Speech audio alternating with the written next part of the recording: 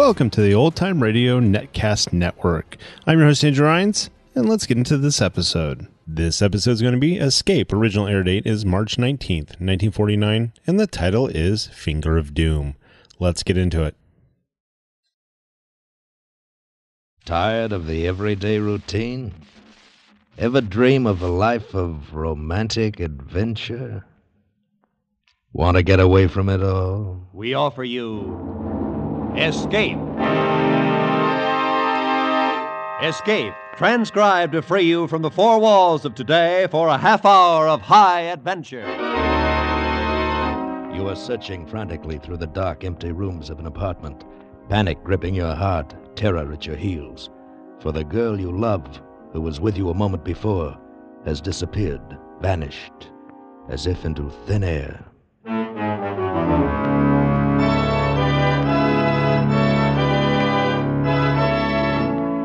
Today, we escape from reality with a gripping tale of a girl who vanished and the man who had to find her to save his life, as Cornell Woolrich told it in his great story, Finger of Doom.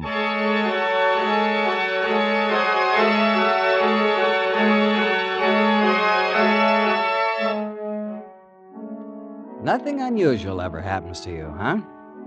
In your comfortable American city, nothing ever could, could it? Let me tell you something. Right on the common, everyday streets of a big city, I had the strangest, most fantastic adventure anyone could dream of. And I've had my fill of adventure for the rest of my life.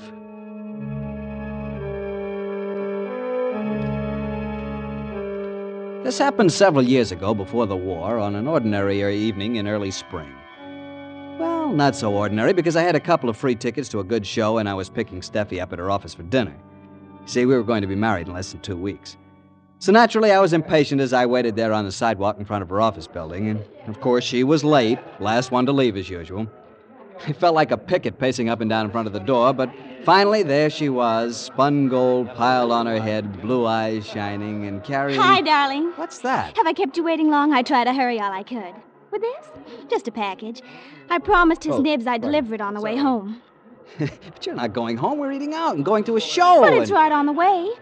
I have to leave it at a flat in Martine Street. It won't take a minute. Why can't he get somebody else to run his errands for him? We're late now. This'll cut our eating time down. Woof, We've- woof, Grumpy. Oh, So this is what the 13th does to you. 13th? You mean you've forgotten? You mean you aren't counting the days? Oh, sure. 13 days left. Thirteen and a half. Don't forget that half of it's to be a noon wedding. I don't like the 13 all by itself. I'll be glad when it's tomorrow and only 12 left. You know something? Hmm? You're cute. The more I know you, the cuter you get. I bet you won't say that a year from now. I bet you'll be oh, calling me your old lady then. Will you mind? Well, not right at first, maybe. Okay, come on. Let's make like delivery boys. Oh, what's the address? Mr. Miller, 415 Martine Street, apartment 4F. We're on our way.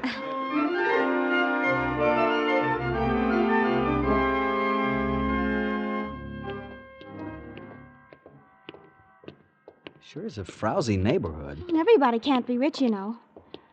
411, 413. Oh, there it is. Yeah. Some clients your boss must have. I'll be glad when you aren't working for him anymore. Oh, did you give him your notice? Yesterday. He gave me the funniest look.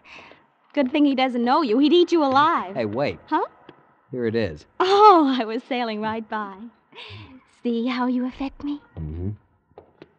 Okay, give it to the hall man or the janitor or somebody, and let's get going. Oh, no, I've got to take it up personally and get a receipt. Besides, there doesn't seem to be anybody here. Oh, it's one of those push button doors. What did I say the name was again? Muller or something, wasn't it? What would I do without you? 4A, 4B, 4C. Oh, here it is, 4F. Oh, no wonder I couldn't find it. The name card's fallen out. Oh, this must be the button. You wait down here for me. I won't be a minute. A minute's too long. Well, this'll hold you until I get back. Hmm. Oh, the door. Only a minute now. Bye. Bye.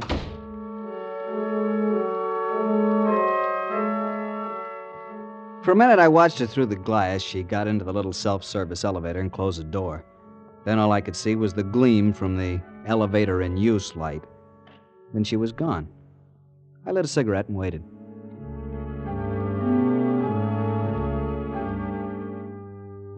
How long does it take to smoke a cigarette?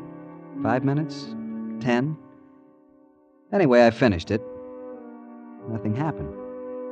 I stood around fidgeting, shifting from one foot to the other, and from one shoulder leaning against the wall to the other. A Woman came by with a squalling kid, gave me a haughty look, and went on in. I Tried to figure out what could be taking so long. Maybe they didn't have a pencil to sign the receipt. Maybe they had to find one. Lit another cigarette, took a couple of puffs, but now my patience was gone. What is this? I rattled the door first, and then I pushed the button for apartment 4F. I still didn't plan to go up. I just wanted to let her know that I was still alive. But I got no answering buzz. I kept ringing it, holding my thumb down till it was white. Still no answer. Suddenly, I wasn't angry anymore. Suddenly, I was scared. I did the instinctive thing. I ran out into the street again and looked up at the face of the building, searching the windows, but of course there was nothing to see. And that move cost me a chance to get in. Was out on the sidewalk, a seedy looking character came out of the door, letting it click shut before I could get back in. I tried the buzzer again. Couldn't be out of order. They'd answered it when Steffi pushed it. But now, nothing. Dead to the world up there. By now it was 20 minutes. 20 minutes since she left me. Now I was frightened. I knew I had to get up there. I pushed another button, anyone at random. The door was released and I was in.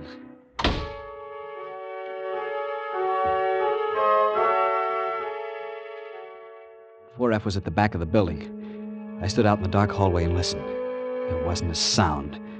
At first, this was a relief. At least she wasn't in any difficulty, or she'd be screaming. But then, when I began to knock and kick the door, practically break it down, and still nobody made a sound, I began to get panicky. Heads poked out of doors all along the hall. Hey, cut out the racket! Where will I find the janitor? Down in the basement, I suppose. I raced down to the basement, found the janitor eating his supper. I barged right in. You looking for something? Uh, come up with me, quick. Will you bring your pass key? I want to open one of the flats. What's the matter? What's wrong? I don't like the looks of it. My, my, my girl took a package up. I've been waiting for her for over 20 minutes, and she never came down again. Now they won't answer the bell. Come on, please, hurry. Oh, which apartment is it? On the fourth floor. Come on, I'll show you. Uh, what number? 4F, but. ca- Wait a minute. Couldn't be 4F, not that one. Why not? Because there's nobody living there. Why, that apartment's been vacant for six months.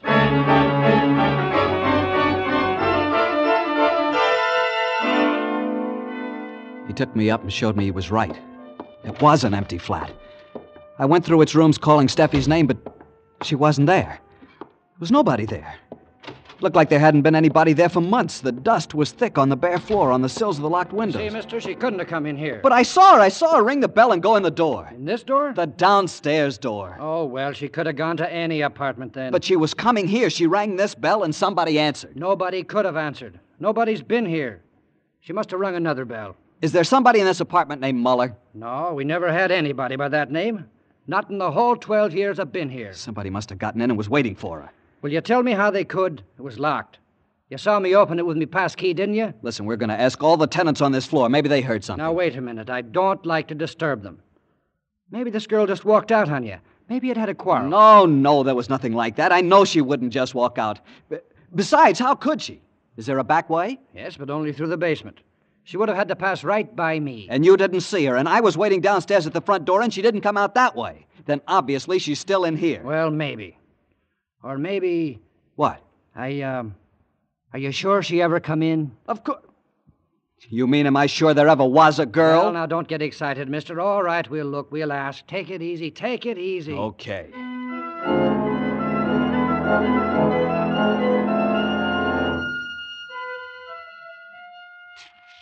Hear anything in 4F? How could I? The place is empty. I know, but didn't you hear something? Anything? No.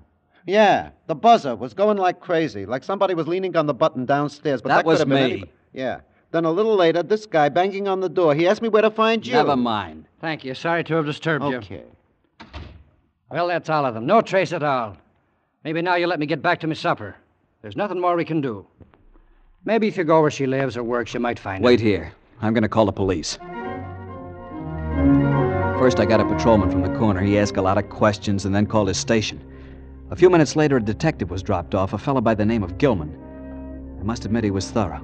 He checked on every apartment in the building. The only thing he learned was about the false ring which let me in. But there was only one, not two. And that meant that whoever buzzed for Steffi was expecting her. Gilman checked apartment 4F thoroughly the windows with their undisturbed layer of dust, the door, the keyhole, everything. And then he said, There's nothing to show that she or anyone else ever came in here, Bud. Look, don't do this to me. You make it sound like she didn't come here with me at all. That's what it does sound like. But don't you see? Look, I was going to take her to a show. Here, here are the tickets. Don't mean a thing. We're going to build this from the ground up and see what we've got. You say her name is Stephanie Riska. Address? 120 Farragut. What's she look like? She's blonde and she came up to about here. I mean, Okay, okay. Don't let it get you. I'm not scared because she's gone. It, it's because she's gone in such a fairy tale way. She just disappeared into thin air. I... All right, let's get about finding her then. You met her at 6.15 outside the Bailey Goodwin building with a package to be delivered here. Who'd she work for? A press clipping service called the Green Star. It's a one man organization operated by a man named Hessen. One dinky little room on the ground floor of the building. What do they do? I don't know much about it. They have a list of clients, and they go through the paper and clip out any story which mentions one of the clients. They get about a nickel a clipping. How is there any money in that? I don't know. Okay, we're going up there. We'll find out.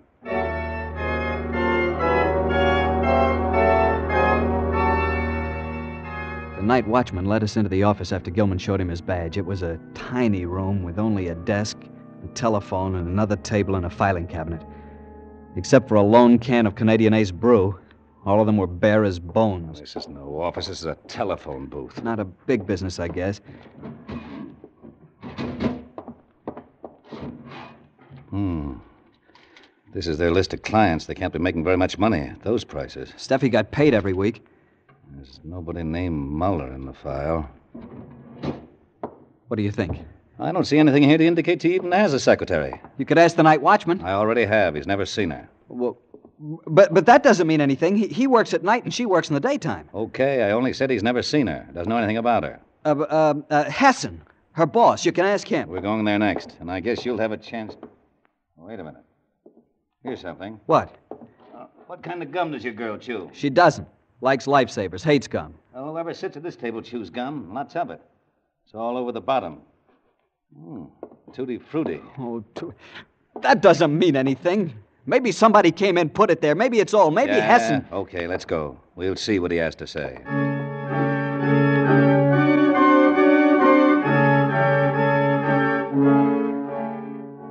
Hessen lived in a swanky bungalow type home in the suburbs. As Gilman and I left the police car and walked up the drive to the house, I got the strangest feeling of unreality. Like this was all a horrible nightmare. Couldn't be happening. My knees were sagging, but then Gilman was knocking on the door, and it was answered by an ugly, foreign looking character who went away and returned to usher us into Hessen's presence. I'd seen him a time or two, but he didn't know me, so he gave no sign of recognition. Good evening, gentlemen. Mr. Hessen, I'm Sergeant Gilman, police force. Oh, yes, I'm pleased to know you. I won't take up much of your time, but I need a little help. Uh, Gladly, if it is within my power. Did you ever see this young fellow before? No. What has he done? I'm not sure yet. Do you know anyone named Muller at 415 Martine Street? Muller? No, I don't know anyone by that name. I think we have a Miller, a Mrs. Elsie Miller, on our list, who all the time divorces and remarries.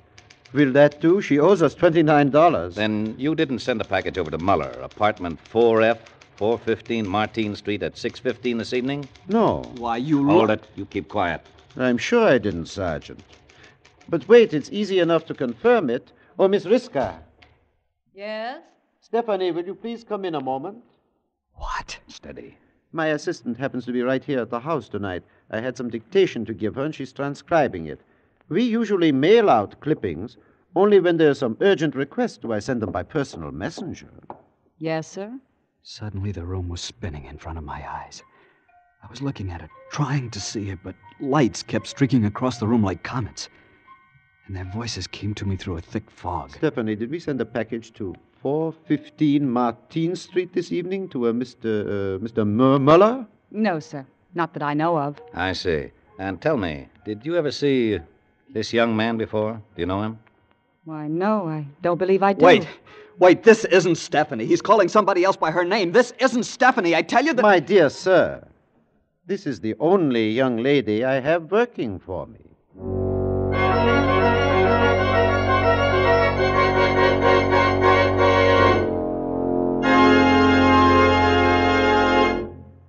In just a moment, we will return to Escape. But first, Mr. and Mrs. X thought they were pretty smart, smarter than the Narcotics Bureau and the Bureau of Customs combined, but they overlooked a casual passenger aboard the luxury liner. For a fascinating true life tale of crime and smuggling on the high seas, hear Gangbusters tonight. And along with it, CBS's other great Saturday night thrill a minute show, The Adventures of Philip Marlowe. Both of these programs are regular Saturday night features on most of these same CBS network stations. Gangbusters recreates famous crimes and their solutions by national, state, and local agencies. The Adventures of Philip Marlowe are based on the character of the famous private eye created by Raymond Chandler, the noted mystery story writer. And now, with our stars, Harry Bartell as Kenny and with Ed Begley as Gilman, we return to the second act of Escape and Finger of Doom.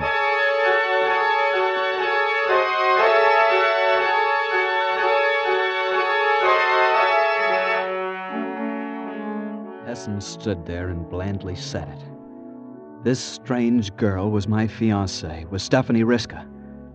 He stood there looking surprised and hurt, and she stared at me with a just right, puzzled expression on her face. Gilman was holding me with a sort of a half Nelson and gritting at me. Stop it, stop it. But I tell you, this isn't Steffi. Steffi is blonde. This girl is brunette. Steffi's short, comes up, up up to here. This one's tall. I tell Shut you. Shut up. You're asking for trouble. Now calm down. Sergeant, I don't believe I understand. I'm what- just beginning to myself. Uh, miss, uh, how long have you been working for Mr. Hessen? Why, since October of last year. About six months. And your name is Stephanie Riska? Why, yes, of course. She's lying, I tell you. Shut up. I, uh, I don't mean to doubt your word, miss, but just for the record, I suppose you could show me some proof of your identity? Why, yes, I. right here in my bag. My driver's license. Oh, wait, the bag has initials. Oh, yeah, S.R. Of course, S.R. And the driver's license. Steffi doesn't drive. She has no car. But I do. It isn't a very good one, but Anything else? this letter addressed to me. Address 120 Farragut. May I look? Why, yes, of course. Uh huh? It's genuine, all right. Here you are, and I don't know what else I have here, but. Oh, I'll get it. Here you are. oh, thank you. I see you carry chewing gum in your purse. Why, yes. Hmm. Tutti frutti. Not many people like that flavor. I never chew any other. Well, thanks. Sorry to have bothered you both. Come on, chum. I hope we've been able to help, Sergeant. A lot, thanks. Good night. Good night, Sergeant.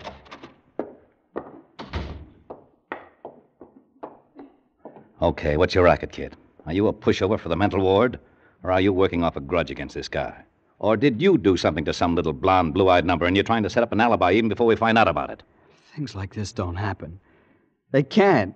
One minute she's here and then she's gone. No one will believe me. Why should we? You haven't produced a single person all night who actually saw this blonde of yours. Where'd I get her name and address then? Ah, that's one thing I'm not sure of.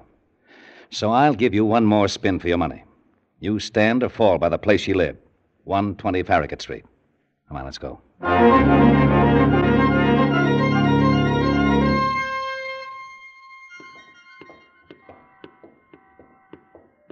Okay, this is it. Come on.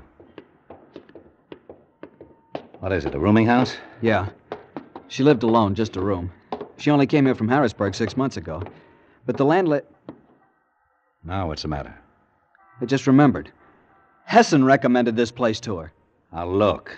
You want to go in or you want to go to headquarters? The tougher you get with me, the tougher I'll be on you. Listen, you gotta listen. I was only up there once, but I remember it. Sticking in the mirror of the dresser is a litho of the Holy Mother. On the radiator's a rag doll I won for her at Coney Island and a, and a Hickok wallet I gave her last Christmas. And on a shelf against the wall is a gas ring, and from the light fixture to the gas jet is a string where she hangs stockings to dry. Will you remember those things? Uh, the bedspread's green, and th- there's a green and yellow upholstered chair. Don't you see? I-, I couldn't make these things up. She must be real. You almost convinced me. Come on.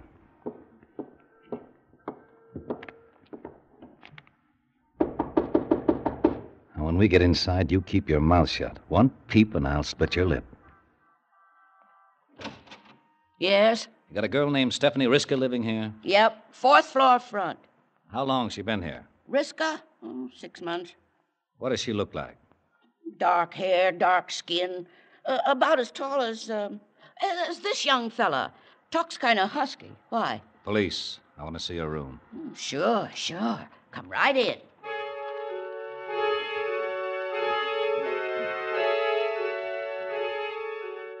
Gilman practically had to support me all the way up. My knees just weren't functioning.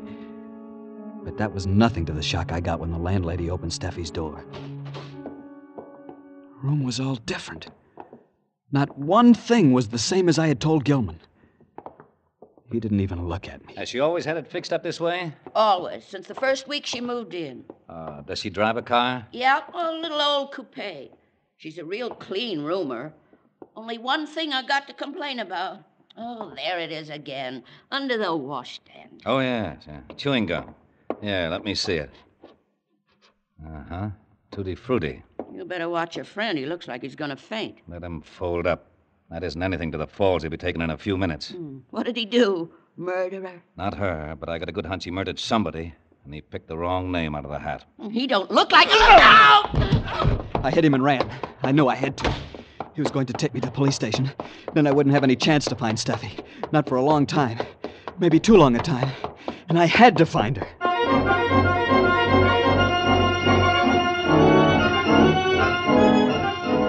I went back to the Martine Street flat. It was the only place to go. Back to where she disappeared. Start from there. I knew Gilman would catch up with me sooner or later, but I, I might be able to turn up something first. I told the janitor the cops had sent me back to take another look at the apartment and got him to give me the passkey. He fell for it. I went up to the apartment alone. But once there, I couldn't find a thing. I wandered through the empty rooms, calling her name helplessly. I tapped the walls, scraped the plaster, tested the windows.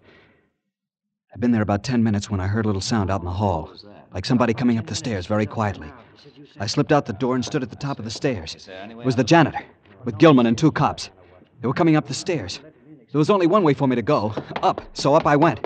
And then they saw me. Hey, you, come down here. One flight up, I came to the top of the stairs. A sort of skylight window opened onto the roof.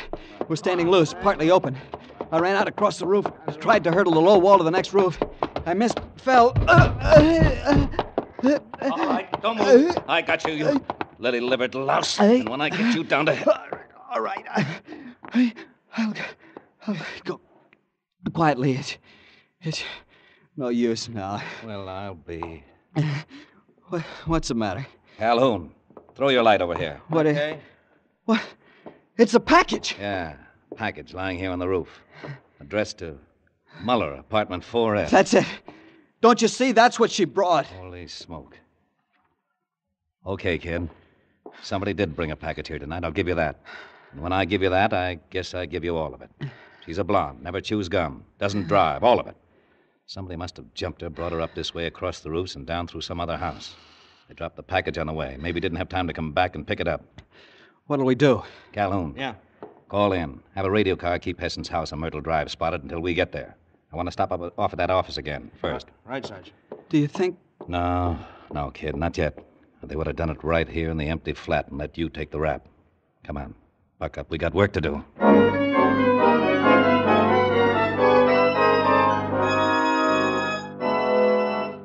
At Hessen's office, we found two things. These files are funny. About every third name is a foreign one with a foreign mailing address. Why would those people want local press clippings? What do you mean? I mean, this looks like a job for the FBI, spy stuff. Maybe your girl had found something out, and that's why they figured she was too dangerous. Did she ever say anything? No, but she told them she was quitting next week to get married. So she didn't suspect anything, but they thought she did. Same thing. Come on, we'll stop off at that rooming house. I want that landlady picked up. Obviously, she's one of them. Changed the room all around, stuck the gum into the washstand, everything. Hey, wait. Look. On the floor next to the baseboard. Yeah. Gilt hairpin. So she was blonde. Okay, let's go.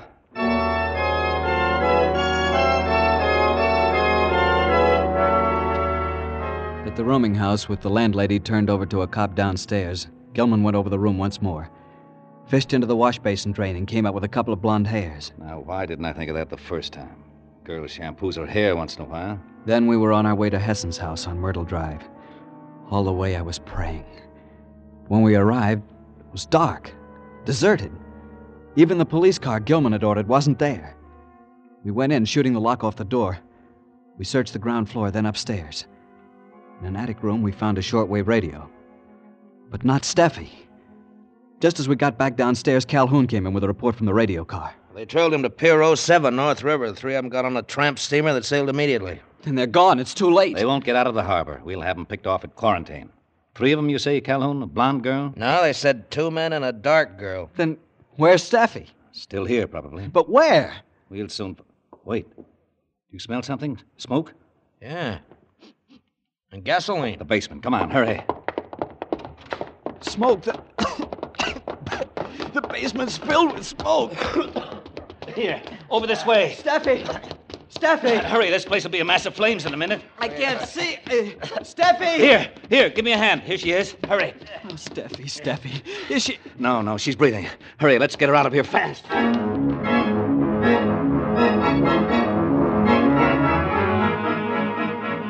In the next few minutes, there was a lot of excitement around there. While the fire companies fought the fire, we cut the ropes off Steffi and revived her. She was all right, and I sat there in the police car with my arms around her as if I'd never let her go again. And that's just how I felt, too. Then a radio report came in. Well, they got him off the ship at quarantine. They'll be turned over to the FBI eventually, but first. Well, they better hadn't let me get my hands on him. You know, kid, she is pretty. Gee, thanks for everything. It's okay. Well, I gotta go and. Oh, say, I've got something I want to return to you. Yeah, what? This. Um. I went out like a light when he hit me. And a few minutes later, Kenny. when I came to, Steffi was holding me in her arms, Kenny. stroking my head and smiling. Kenny, he said to tell you no hard feelings. But when anyone socks Dick Gilman over the head, he gets socked back, even if they're the best of friends. Uh, Steffi, you know something? What, darling? You're cute with stars in your hair.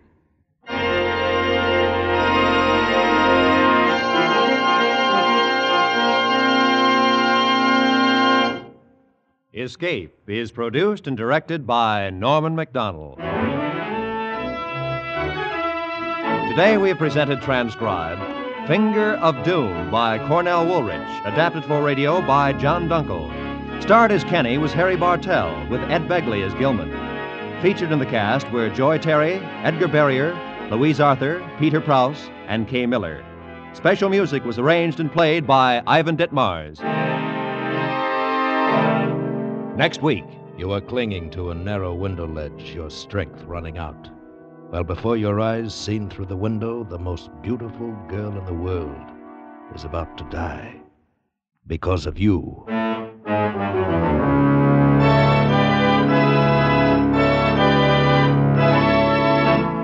Next week, we escape with an unusual story The Adaptive Ultimate by John Jessel. Be sure to tune in again at this same time next week when once again we offer you Escape.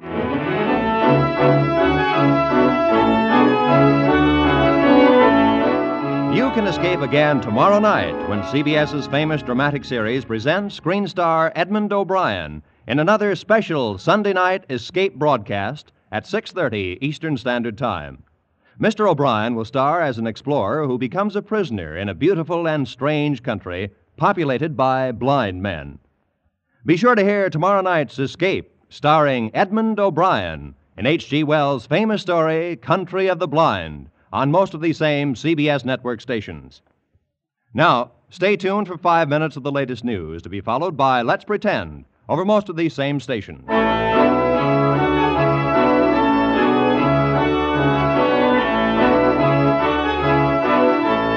This is Roy Rowan speaking for CBS, the Columbia Broadcasting System.